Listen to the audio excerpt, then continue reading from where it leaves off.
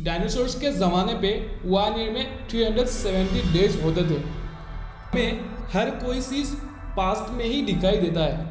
ऐसे ही कई सारे इंटरेस्टिंग फैक्ट्स के बारे में जानने के लिए मेरे साथ बने रहिए और मेरे चैनल को सब्सक्राइब कर लीजिए। अगर वीडियो पसंद आया तो लाइक कर लीजिए जेलीफिश को तो आपने टीवी या किसी वीडियो पर तो देखा ही होगा। इसका जो बॉडी है ना, उसका 95 परसेंट पार्टी वाटर है। और इस क्रिएचर का ब्रेन ब्लड और हार्ट नहीं होता।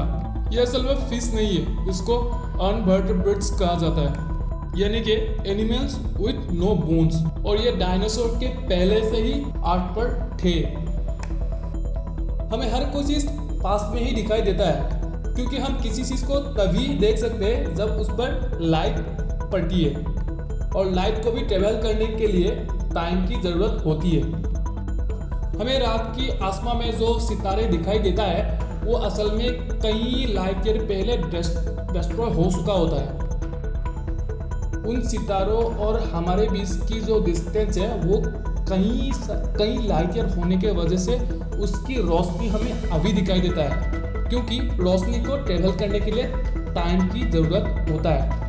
और इसी के मुताबिक हमें सूरज आठ मिनट और शाम को दो मिनट बाद दिखाई देता है।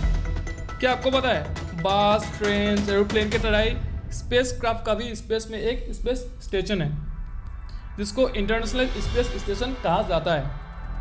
यूएस रशिया जापान यूरोप और कनाडा की स्पेस एजेंसी मिलकर इसको बिल्ड किया है।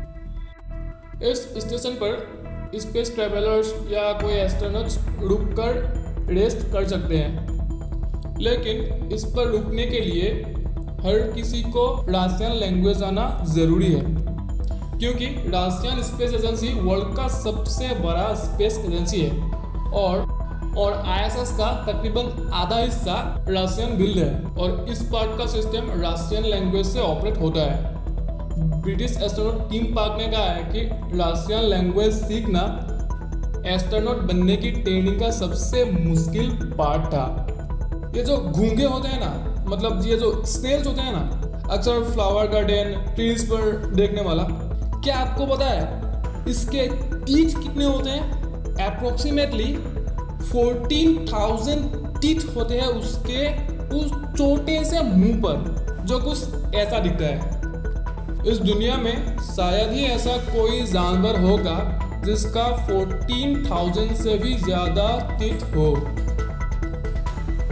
360 मिलियन ईयर पहले जब आर्ट पर ट्रीज नहीं होते थे, तब आर्ट पर बहुत बड़े बड़े मतलब बहुत ही बड़े बड़े मशरूम्स हुआ करते थे, जो लगभग एक मीटर चौड़ा और आठ मीटर तक लंबा होते थे। दुनिया की कई रीजन्स पे इसका फॉसिल्स पाया गया है और इसको प्रोटोटैक्सिस कहा जाता है। आर्ट पर जितने सारे मैमल्स हैं, उनके नियरली ट्वेंटी परसेंट ही बैच है। यानी कि जिनको हिंदी पर समकादर कहा जाता है। पूरे वर्ल्ड पर 1200 डिफरेंट स्पीसीज का बैच पाया जाता है।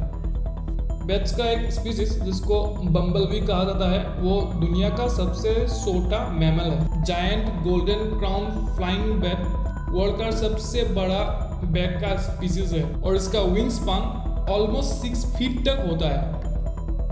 कैलिफोर्नियन व्हाइट माउंटेन पे ऐसे कुछ ट्रीज है जिसका एज 4800 ईयर्स से भी ज़्यादा है। ब्रिस्टल कॉन पाइन नाम का ये पेड़ इजिप्टियन पिरामिड से भी ज़्यादा पुराना है। ऐसा कहा जाता है there are trees older than history हर कोई इंडियन सिटीजन ने उत्तर प्रदेश में होने वाला कुंभ मेला के बारे में तो सुना ही होगा।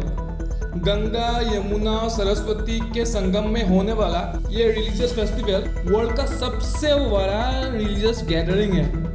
क्योंकि कुंभ मेला में होने वाला गैदरिंग स्पेस से भी देखा जाता है। इंडिया का high resolution art imaging satellite Cartosat 2 ने इस गैदरिंग का फ़ोटो भी कैप्चर किया है। क्या आपको पता है?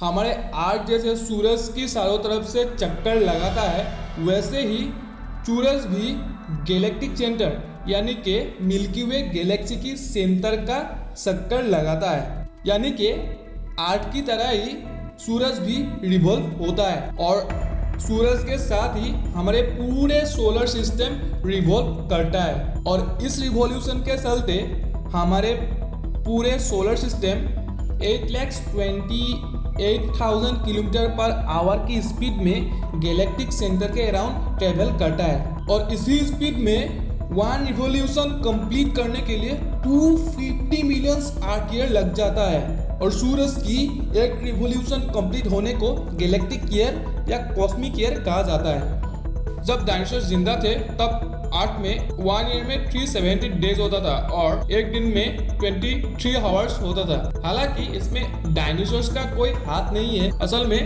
हमारा आर्ट जब फॉर्मेशन हुआ था, तब आर्ट का स्पिनिंग स्पीड यानी कि अपनी एक्सिस में घूमने की स्पीड बहुत ज़्यादा थी। साइंटिस्ट के मुताबिक स्टार्टिंग में आर्ट पर एक दिन फोर आवर्स में ही कंप्लीट हो जाता था। मून की ग्रेविटेशनल इन्फ्लुएंस की वजह से आर्ट की स्पिनिंग स्पीड धीरे धीरे कम होने लगा। और ऐसे ही डायनासोर्स के टाइम पे ये 23 आवर्स तक पहुँच गया। और अभी 23 आवर्स 56 मिनट 4 सेकेंड्स तक बढ़ गया।